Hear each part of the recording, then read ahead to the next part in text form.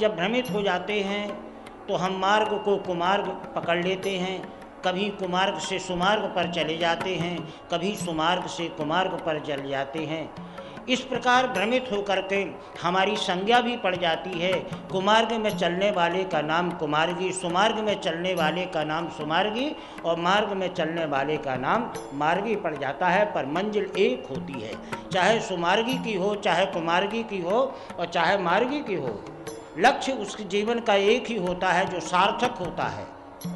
अनर्थक जो व्यर्थ लक्ष्य होते हैं तो वो तो विभिन्न प्रकार के होते हैं, और उन विभिन्न प्रकार को व्याख्या करते हुए मीमांसा।